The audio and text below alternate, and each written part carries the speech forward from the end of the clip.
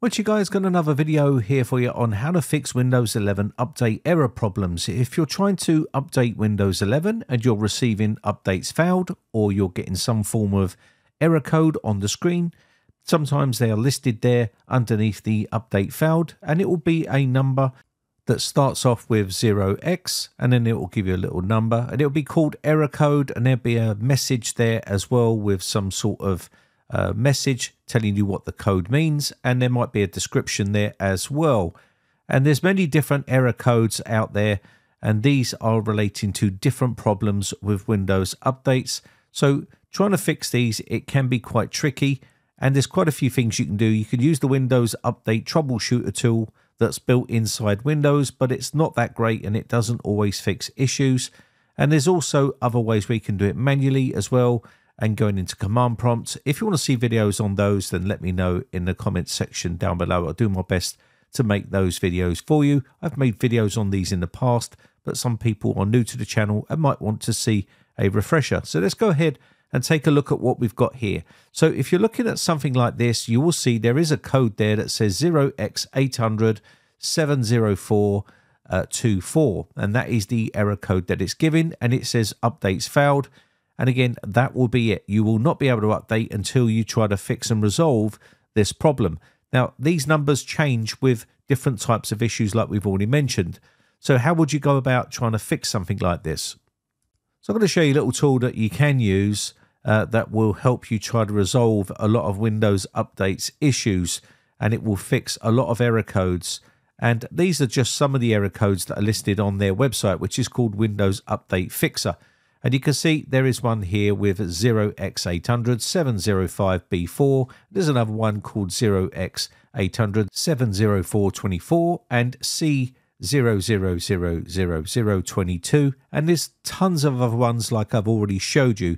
So these are some of the common errors that you might be receiving on your system. And if it is, you can use something like this tool to try and fix and resolve a lot of your Windows updates problems. So whether you've shut the PC down at a critical time when it's doing a Windows updates and it's now bricked your Windows updates, or maybe uh, that you've had some form of issue and you've just not updated Windows for a very long time, this can also be a major problem where people are not updating their operating systems for such a long time, or maybe you've been tinkering with some sort of uh, registry tweaks and stopped the Windows updates altogether, or maybe you've broken something. So let's go ahead and take a look here. So we're going to download this portable application. I did upload it to VirusTotal and it come back perfectly clean.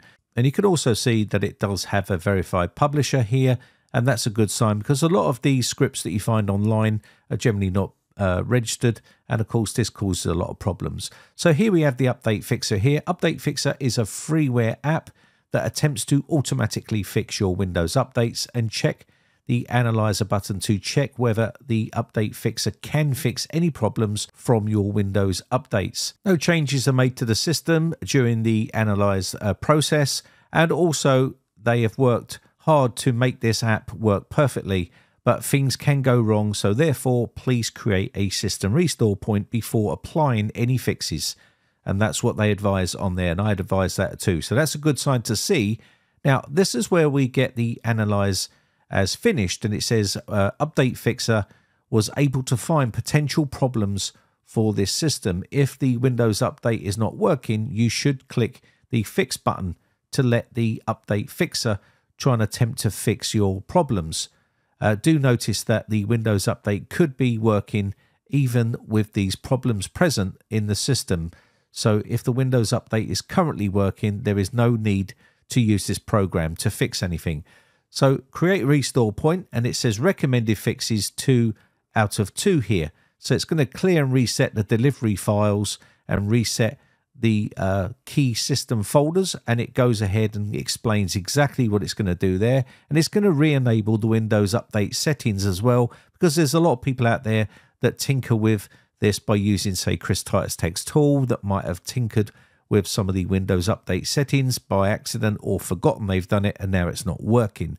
There's also a optional fixes right here and you can see it re-enables services that may have been disabled if you've been running tools like this where it's put these on manual or disabled them uh, this will re-enable these uh, services. And these are important to have your windows update working correctly. So if you have been running some form of script off of github or some other site then maybe this is one of your problems where you've disabled services or you've made changes to your windows updates with policies and things like that. And this will go through and try to fix a lot of these. You can see re-enabling services for windows module and also update orchestra service Things like this, if they have been disabled, you might have trouble running Windows updates. And this is going to go through here. You can see disable software that blocks Windows update.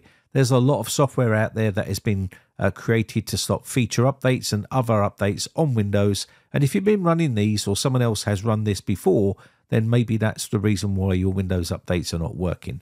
So let's go ahead and check mark all of these just to show you. I'm on a virtual machine here. So we're going to go ahead and run the update fixer here and let it do its thing. Now this might take a bit of time, so I shall speed this process up. And once it's done, it's probably going to ask us to restart our PC. The first step of fixing is now done. You must restart your computer to ensure all of the changes are applied. And you can see here, after your computer restarts, you might see a command prompt uh, window. This is normal. It's used for the final step of fixing process. And again, that's it. So all you need to do now is click on the restart PC. This will go through the restarting process. When you get back to the desktop, you will see something looking like this. Leave it open. It's still working away and eventually this will shut off. Now I found it does take a couple of minutes and then it's gone. Now if you're still having some form of issue with Windows updates, then maybe you've got a more a serious problem with your system, and maybe your system has become unstable and it needs to be reset. And you can do that inside the system and recovery options in your settings panel and recover Windows that way.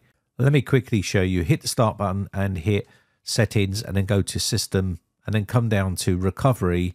Just down here, there is some options available to you to try and recover your system if you can't fix it.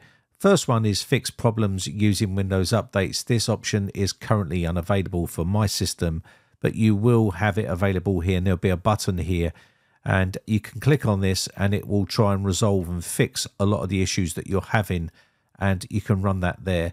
Next is fix problems uh, without resetting your PC and this is the troubleshooter area where you can use the Windows Update Troubleshooter tool. So inside other troubleshooters, right here you'll see Windows Updates. You can run this. You can run it at the beginning if you want to. I've not had much luck with that tool, to be honest. But if you tried everything else, you might as well give it a try and run it and see whether it resolves and fixes your issues. The other option is reset this PC, a much more aggressive approach, but it is going to basically reinstall Windows and you will need to reinstall programs and obviously all of your settings will be uh, put back to defaults but it does keep your personal files. But I would advise you to always back up your files before using any of these methods.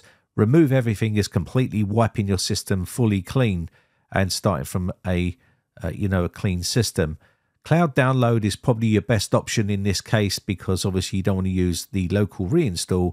So use the cloud download and you can see it's going to download and reinstall Windows and it's going to make changes to your system. Make sure you've got uh, all of the requirements that it's telling you on the screen. Click next and it will move on to getting things ready and it will then give you the final result of what's going to happen. So change settings back to default keep your personal files, download and reinstall Windows, and remove all your apps and programs. Uh, and all your settings will be reset back to default. So just bear that in mind before you go through this. But if you've tried everything else and nothing else is working, then this might be your only option. Anyway, I hope this video has been some sort of use to you. My name has been Brian from briteccomputers.co.uk. Hope you all had a lovely Christmas.